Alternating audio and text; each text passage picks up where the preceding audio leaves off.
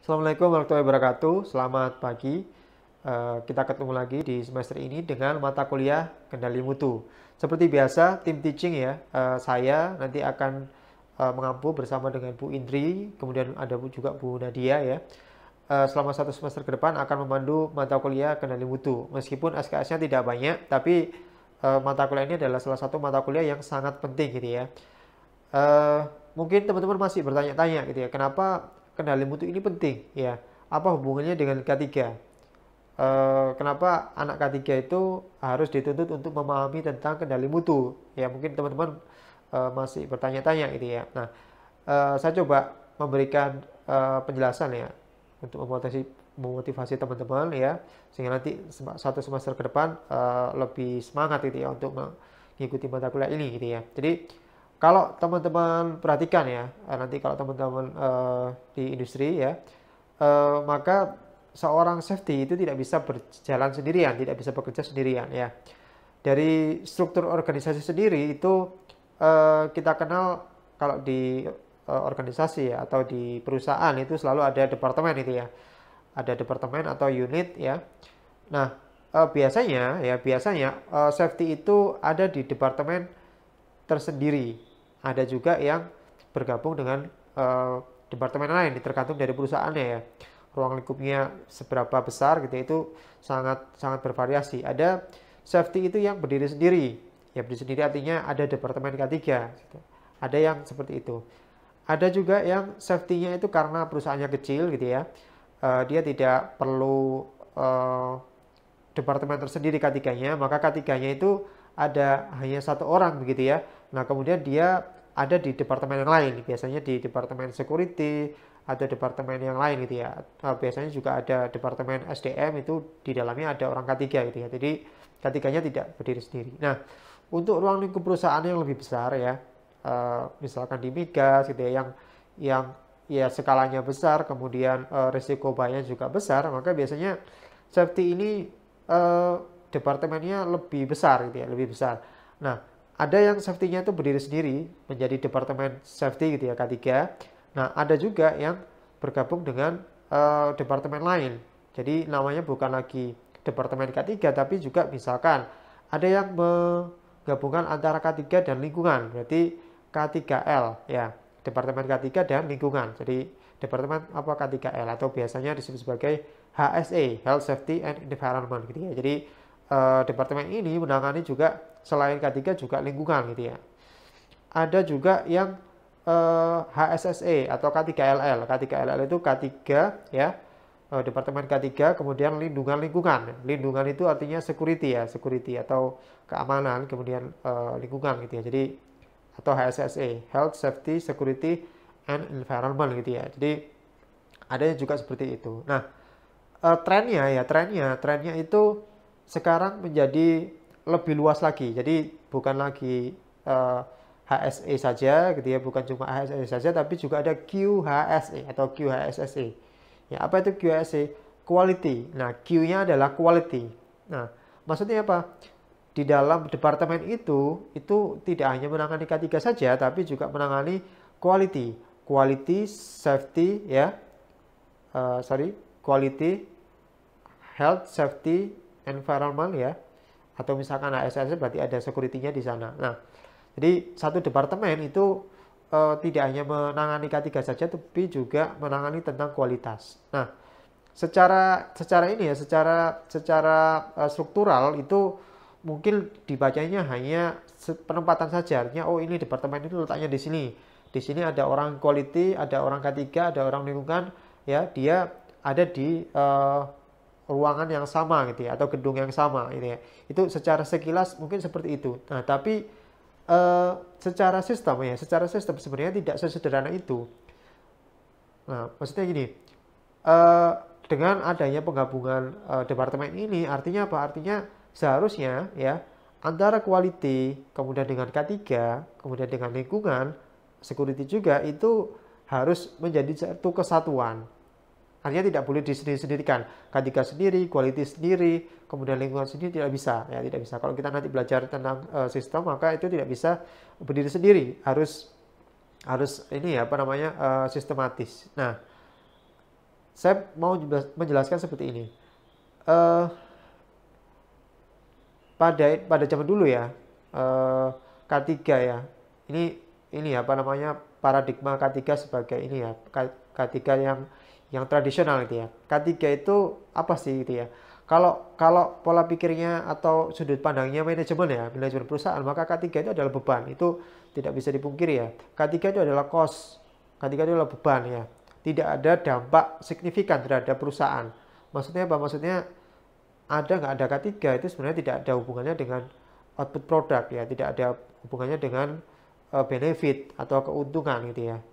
Atau investasi tidak ada hubungannya. Bahkan K3 itu sebaliknya K3 itu adalah pemborosan karena dia investasinya terlalu besar tapi dampaknya tidak langsung. Itu pola pikir ini ya, pola pikir uh, tradisional seperti itu dan itu tidak bisa kita pungkiri ya. Memang banyak yang masih berpandangan seperti itu. Nah, uh, salah satu upaya ya untuk memasukkan K3 ini sebagai salah satu prioritas. Kalau kita tahu ya, kalau dari sudut pandang kita gitu ya, dan banyak perusahaan besar yang sudah menyadari itu, biasanya perusahaan uh, multinasional itu sudah menyadari itu bahwa K3 itu sebenarnya bukan uh, pemborosan gitu ya, bukan cost tapi dia adalah investasi. Kenapa kok bisa investasi?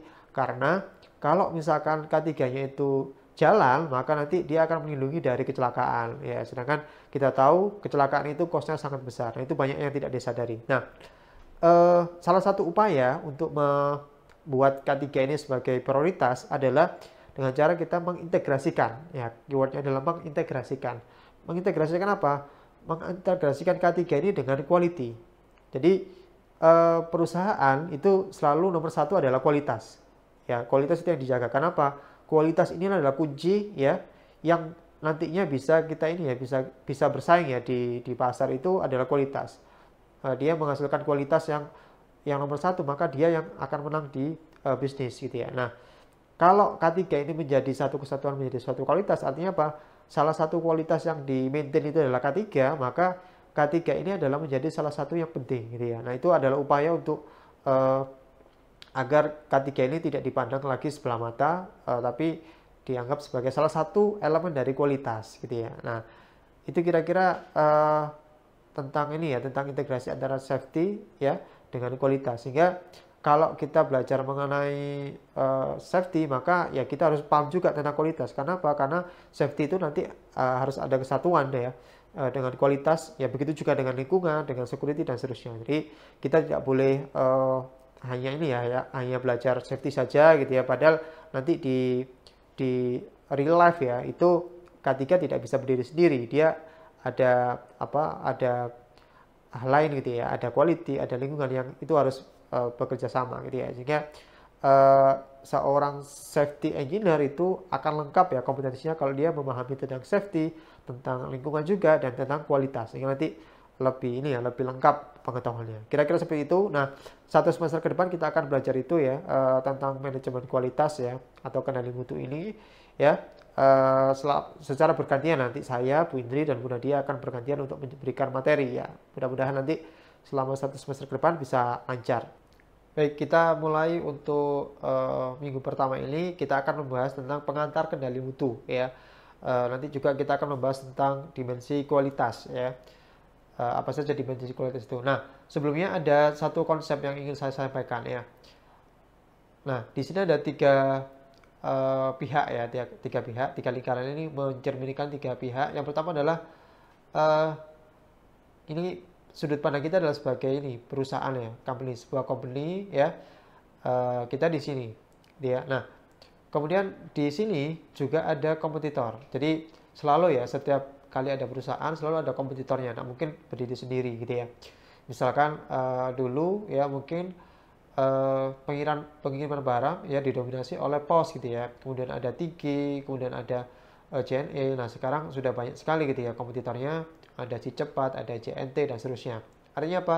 Ketika bisnis itu prospek ya maka akan ada banyak orang yang kemudian mengincar menyaingi itu gitu ya. Nah bagi kompetitor berpikirnya adalah bagaimana caranya agar uh, memenangkan hati dari pelanggan yang dimiliki oleh perusahaan yang yang pionernya itu. Nah, bagi kita itu adalah ancaman gitu ya. Bagi kita adalah ancaman. Uh, kenapa? Karena konsumer kita itu uh, beresiko untuk beralih ke yang lain. Artinya apa?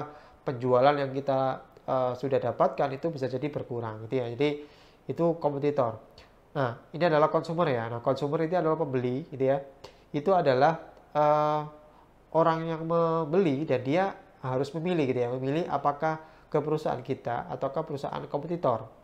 Kan begitu ya. Nah, maka di sini ada ada panah masing-masing ya yang saling berhubungan. Artinya di sini sedikit membentuk segitiga yang uh, unik ya. Yang unik karena apa? Karena kita sebagai company tadi ya, kita uh, berusaha untuk memenangkan hati konsumen. Artinya konsumen kita kita ajak nih, kita ajak untuk membeli produk kita atau membe, uh, memanfaatkan layanan kita gitu ya. Nah, tapi kemudian tadi ya ada kompetitor yang juga bertujuan sama ya. Ini yang yang menjadi ini ya menjadi masalah buat kita ya sebagai perusahaan. Maka uh, agar kita mendapatkan hatinya konsumen sehingga konsumen itu menjadi loyal ya loyal tetap menggunakan jasa kita atau uh, membeli produk kita ya maka ya kita harus bisa membuat ya konsumen itu merasa bahwa kita lebih baik daripada si kompetitor gitu ya nah, itu yang menjadi menjadi apa namanya uh, menjadi bisnisnya ya nah maka apa sih yang me, yang me, yang membuat konsumen ini bisa beralih ke yang lain atau tetap loyal kepada perusahaan kita gitu ya. Nah, itu adalah apa? Kualitas. Nah, ini kata kuncinya adalah kualitas. Konsumen pasti memilih yang berkualitas, ya. Mana yang lebih berkualitas ya, itu yang akan dipilih gitu ya. Ya, selain tentunya harga dan seterusnya gitu ya. Nah, bahkan ini ya, bahkan apa namanya? Eh, konsumen kadang-kadang eh, dengan harga yang lebih tinggi itu rela untuk dibeli karena eh, kualitasnya lebih terjamin gitu ya apalagi kalau harganya sama ya harganya sama maka ya pasti kualitasnya lebih bagus ya itu ya jadi kenapa kok uh, kualitas itu penting ya ya karena ini ya memenangkan hati konsumen oke ya kita lanjutkan ya nah apa itu kualitas ya ini lebih detail lagi kalau kita belajar mengenai kualitas itu uh, sangat luas ya sangat luas artinya kalau kita uh, bahas itu dari sudut pandang sudut pandang kita gitu ya tentunya beda dengan sudut pandangnya yang lain gitu ya Nah, di sini coba saya rangkum ada sudut pandang ya, empat ya, empat sudut pandang. Coba saya rangkum. Yang pertama adalah dari sisi produk ya.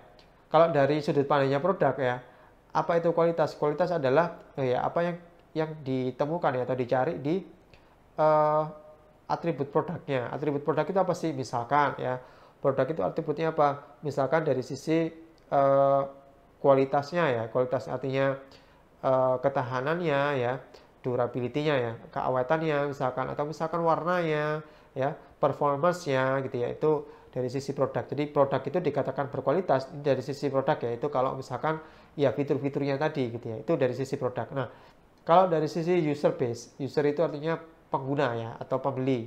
Nah, kalau dari sisi customer ya, maka kalau kita itu satisfied atau puas ya terhadap produk yang dibeli atau layanan jasa yang kita uh, apa namanya kita gunakan ya maka itu menjadi kualitas. Jadi apa itu kualitas? Ya kalau kita puas kan gitu ya.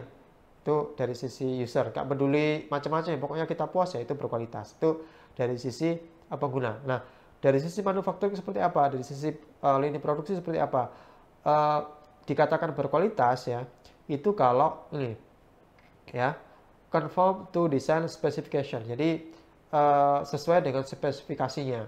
Itu dari sisi manufacturing ya kita ngomong spesifikasi ya. Jadi produknya berkualitas seperti apa sih? Ya sesuai ya. Ini apa namanya? Uh, apa namanya spesifikasinya sesuai gitu ya. Yang dijanjikan di misalkan ini ya di apa di iklan itu sesuai dengan apa yang yang ada di produk itu gitu. Itu dari sisi manufacturing ya. Itu nah dari sisi value base seperti apa? Value base itu maksudnya ya ini ya apa namanya sebanding atau worth it ya. Antara uh, harga dengan uh, produknya itu sesuai. Ya, nilai nilai nilai apa nilai produk itu sesuai dengan harganya. Itu di, dikatakan kualitas. Nah, itu kira-kira ini ya uh, secara umum uh, ada empat sisi ini uh, yang kira-kira bisa menjelaskan tentang kualitas. Nah, kita bicara mengenai dimensi kualitas ya, dimensi kualitas. Nah, apa sih kualitas itu? Ini dari Garfinch ya, ada tujuh, uh, sorry ada delapan, delapan uh, dimensi kualitas ya ada performance, feature dan seterusnya. Oke, kita bahas satu persatu ya. Yang pertama adalah performance ya, performance. Itu berhubungan dengan aspek fungsional produk. Ya. Aspek fungsional produk. Jadi performance itu adalah fungsi dasar sebenarnya, fungsi dasar. Jadi misalkan apa? Misalkan uh, kalau kita uh, bicara mengenai handphone, misalkan ya HP, ya HP itu performance-nya seperti apa sih? Oke, okay, ya berarti apa ya? RAM-nya ya, uh, kemudian misalkan uh, kualitas kualitas apa? Kualitas jaringannya dan seterusnya itu performance-nya. Atau misalkan motor ya, motor maka ya dia RPM-nya dan seterusnya itu adalah performance. Nah, performance saja ternyata tidak cukup. Di sini ada feature ya. Feature itu uh, tambahan ya, tambahan performance yang menunjang fungsi dasar. Jadi uh, eh, HP tidak hanya digunakan untuk uh, komunikasi tapi juga harus ada fiturnya. Itu yang di, dipilih oleh uh, pelanggan ya. Contohnya apa? Contohnya misalkan uh, misalkan HP sekarang sudah banyak fiturnya macam-macam gitu ya. Misalkan ada locknya itu pakai fingerprint gitu ya. Kemudian uh, ada NFC-nya gitu ya sehingga memudahkan untuk kalau misalkan kita beli e-money gitu ya misalkan dan seterusnya. Itu fitur yang ya sebenarnya tidak ada hubungannya dengan performance gitu ya. Tapi itu menjadi justru kadang-kadang menjadi ini ya menjadi penentu uh, konsumen itu beli apa tidak. Itu feature. Nah selain itu ada reliability. Reliability itu adalah kehandalan. Ya maksudnya kehandalan itu apa? Produk untuk dapat uh, berfungsi sampai periode waktu tertentu jadi misalkan HP ya itu dari, dari waktu satu tahun dua tahun itu masih bisa digunakan itu reliable. Ya tidak ada ini ya tidak ada masalah misalkan uh, baterainya masih masih tahan ya kemudian misalkan casingnya juga masih oke okay, dan seterusnya layarnya masih oke okay, dan seterusnya itu reliability ya sesuai dengan yang dijanjikan. Nah, ada conformance ya. Conformance itu adalah kesesuaian spesifikasi yang telah ditetapkan sebelumnya.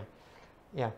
Jadi spesifikasinya itu sesuai gitu ya uh, kesan spesifikasi yang ditetapkan sebelumnya. Jadi kadang-kadang kita bandingkan ya antara HP satu dengan yang lain sama-sama 64 megapiksel tapi ada yang bagus, ada yang kurang bagus ya. Itu uh, dari sisi itu kita bisa menyimpulkan ya bahwa konformitas itu penting. Artinya apa? Ya 60 megapiksel ya harusnya bagus gitu ya. Itu ya. Itu konformitas. Nah, durability. Nah, durability mirip-mirip dengan reliability Ya, kalau durability itu keseluruhan produk itu daya tahannya, masa pakainya. Masa pakai itu artinya apa? Kalau bahasa Jawanya itu mati peletes ya. Kalau kalau HP itu kalau sudah mati peletes gitu ya, berarti itu sudah waktunya ganti. Nah, itu durable ya. Jadi seberapa lama sih daya tahannya sebuah produk itu ya itu durable. Jadi beda dengan reliability. Kalau reliability itu per, per fungsi ya, per fungsi dari apa namanya masing-masing part gitu ya. Nah, serviceability juga penting ya. Uh, percuma kita beli produk bagus tapi kalau misalkan uh, susah ya kita cari service centernya misalkan ya. Susah, susah ya. Jadi contohnya uh, kalau sekarang ada mobil-mobil Cina misalkan ya mobil itu kan kalau misalkan Toyota itu kan servisnya mudah gitu ya. Di mana-mana ada gitu ya. Tapi kemudian uh, muncul uh, apa namanya produk-produk yang masih produk produk Cina ya misalkan ya. Ya contohnya Wuling misalkan ya Wuling ya itu orang meskipun murah itu masih mikir karena nanti servisnya apakah mudah atau tidak gitu ya. Spare partnya mudah didapatkan apa tidak. Nah itu selain selain murah ya selain berkualitas juga uh, yang namanya konsumen itu juga perlu untuk serviceability juga penting gitu ya. Nah berikutnya adalah estetik. Nah ini banyak juga yang uh, mengesampingkan ya performance reliability semuanya itu dari estetik ya kadang-kadang terutama cewek ya biasanya pilih HP, pilih laptop itu yang yang bagus saja gitu ya. Gak peduli RAM-nya berapa, gak peduli kameranya seperti apa, yang penting ya pokoknya bagus saja gitu ya. Warnanya warnanya lucu misalkan ya. Itu lebih memilih yang seperti itu. Ya, jadi estetik juga penting ya. Nah, terakhir adalah perceived quality. Perceived quality adalah perasaan ya konsumen terhadap produk. Ya, biasanya terkait dengan ulang merek. Ya, kadang-kadang nggak peduli performance, nggak peduli fitur, nggak peduli reliability, pokoknya iPhone. Nah, gitu ya. Nggak peduli apa namanya nggak peduli apa namanya RPM seperti apa nggak peduli ini ya uh, eh, CC-nya berapa nggak peduli apa namanya uh, airbagnya seperti apa. Pokoknya Toyota misalkan ya. Paham maksudnya ya? Jadi uh, mereknya itu sudah ini sudah menjadi daya sendiri gitu ya. Kalau kalau misalkan HP iPhone ya nggak peduli misalkan uh, pesaingnya misalkan ada Vivo ada Oppo kemudian ada Xiaomi misalkan itu uh, berlomba-lomba meningkatkan fiturnya tapi ya bagi orang tertentu ya tidak peduli ya yang penting iPhone ya itu gitu ya nah itu adalah perceive quality. Jadi uh, brand itu juga penting juga gitu ya. Jadi ini adalah tuj- uh, 8 ya, 8 dimensi kualitas ya yang menentukan ya, yang menentukan uh, seorang konsumen itu memilih produk yang mana. Itu adalah dari 8 ini. Ya. Ini penelitian dari Carvins. Nah, kira-kira kalau kita uh, memberikan produk itu dengan semua dimensi ini, maka konsumen kemungkinan besar akan pilih. Kira-kira begitu ya. Tentunya dengan harga yang bersaing ya. Oke. Uh, itu dari Carvins ya, dimensi kualitas. Yang dari sisi produk ya. Ini produk ya. Nah, kualitas itu juga melekat bukan hanya pada produk tapi juga pada jasa teman-teman ya. Jadi uh, selain produk tadi ada service quality dimension atau self qual ya. Jadi ini service. Jadi kalau tadi uh, kalau misalkan konsumen itu beli produk, kalau sekarang itu uh, memilih layanan. Contohnya apa? Contohnya misalkan kita mau jasa potong rambut misalkan. Kita mau jasa uh, cuci motor misalkan. Kita mau jasa uh, misalkan kita jasa servis motor misalkan dan seterusnya. Ya. Jadi yang dijual adalah sekarang jasa. Nah, seorang seorang konsumen itu memilih ya memilih milih jasa yang mana ya itu kalau berdasarkan penelitian itu ada lima ini kira-kira ya. Ada lima ini yang menentukan seorang konsumen itu pilih gitu ya. Ya contohnya yang pertama adalah service reliability. Itu adalah memberikan pelayanan sesuai yang dijanjikan. Misalkan uh, waktunya misalkan ya waktunya sesuai uh, misalkan kalau kita misalkan kita mau cari ini ya cari apa cari uh, dokter gitu ya. Kan kita selalu cari di Google ya. Nanti kan di sana ada tulisannya buka jam berapa tutup jam berapa hari apa saja gitu ya. Nah kadang-kadang bukanya jam 8 pas kita datangi ternyata jam 8 belum buka. Nah itu contoh uh, reliability yang kurang bagus gitu ya. Jadi tidak tepat waktu. Tidak sesuai yang dijanjikan. Kemudian uh, empati ya. Empati itu perhatian secara individu kepada pelanggan. Nah ini uh, biasanya uh, perusahaan yang bagus itu empatinya tinggi. Jadi misalkan ketika kita datang itu langsung kita ditanya ya uh, perlunya apa. Ini biasanya kita lihat di bank-bank itu ya. Di bank itu selalu security-nya selain pengamanan juga tanya keperluannya apa, bisa dibantu apa tidak. Jadi sebelum sebelum mendapatkan layanan itu sudah merasa di ini ya diperhatikan gitu ya. Itu empati. Nah, Berikutnya ada assurance ya, kualitas pelayanan terjamin. Percuma ya tadi orangnya apa namanya uh, pelayanannya bagus ya, tapi kalau misalkan kualitas pelayanannya tidak bagus ya, misalkan potong rambut ya, ya harus bagus gitu ya, uh, tidak peduli apa namanya uh, perhatiannya seperti apa. Misalkan dia bagus ya, biasanya ada tukang potong rambut itu yang ngajak kita ngobrol terus gitu, itu kan membuat nyaman ya. Tapi kalau misalkan hasil potongan tidak bagus ya percuma gitu ya. Itu assurance ya.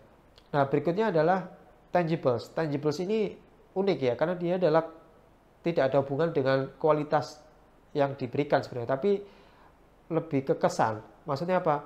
Misalnya, misal kalau kita mau potong rambut gitu ya, kita potong rambut, kalau kita masuk itu gedungnya itu kotor ya, kemudian di bawah itu kotor lantainya, kemudian yang motong itu rambutnya kurang rapi, kan kita agak males ya ini ya mau mau potong rambut di sana ya. Paham maksudnya ya? Jadi itu ke sana. Tapi kalau misalkan gedungnya bagus ya, kemudian rapi ya, uh, kaca-kacanya dilap dengan bagus ya, kemudian uh, orangnya juga rapi, bajunya bagus, itu kan kita kan lebih yakin gitu ya. Jadi kesan kesan itu juga penting juga ternyata. Kemudian responsiveness, responsiveness ini misalkan kesigapan ya, kesigapan atau respon dalam melayani konsumennya. Jadi tidak tidak lelet, kira-kira seperti itu. Itu self qual. Jadi kalau tadi produk ini kualitas, uh, sorry kualitas service atau layanan ya. Uh, jasa ya jasa. Jadi ada uh, kualitas itu ada produk ada juga jasa. Oke ya itu kira-kira uh, dimensi kualitas secara service ya.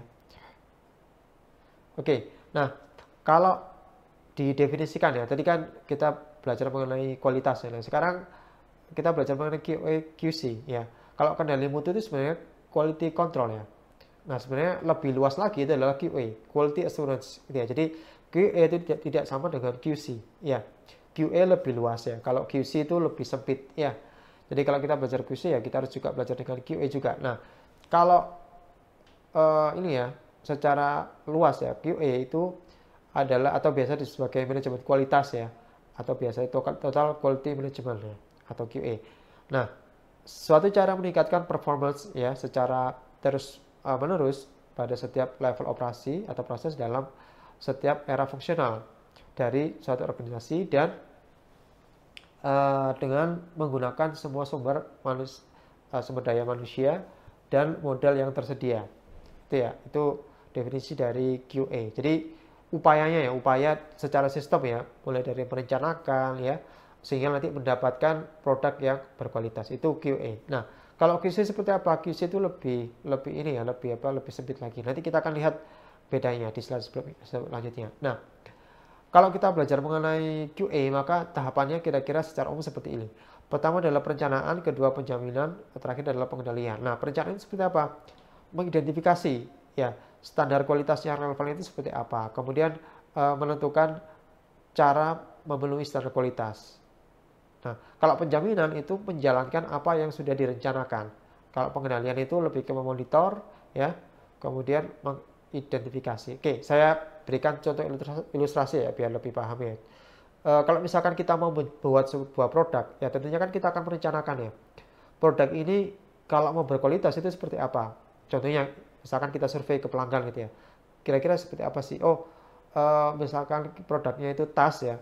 Oh, pelanggan itu suka tas yang kuat, yang aman ya, yang yang yang tidak terlalu besar, yang compact misalkan ya. Nah, karena kita tahu ya kita tahu produk yang berkualitas menurut pelanggan itu seperti itu, maka kemudian kita merumuskan ya, oh berarti produknya ini harus de, uh, harus yang bahannya itu kuat. Ya, bahannya kita cari bahan yang lebih kuat. Kemudian nanti alatnya kita tentukan dan seterusnya. Jadi merencanakan ya, merencanakan agar nanti produk yang akan dihasilkan nanti itu uh, berkualitas. Itu perencanaan. Nah, pada saat penjaminan itu sudah actionnya ya melaksanakan apa yang sudah direncanakan untuk menjamin ya. Jadi kita sudah masuk ke lantai produksinya bagaimana caranya agar berkualitas ya. Misalkan ya orangnya kita training ya kemudian nanti uh, alatnya juga harus bagus kita cek apakah ada recheck apa tidak itu penjaminan pada saat uh, sudah di lantai produksi ya. Nah uh, setelah itu ya tentunya ada pengendalian. Jadi memonitor apakah uh, hasil ya hasil dari produk atau proyek itu uh, apakah sudah memenuhi kualitas atau tidak.